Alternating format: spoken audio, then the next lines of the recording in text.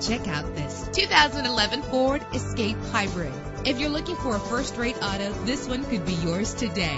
With an efficient four-cylinder engine that responds smoothly to its automatic transmission, let us put you in the driver's seat today. Call or click to contact us.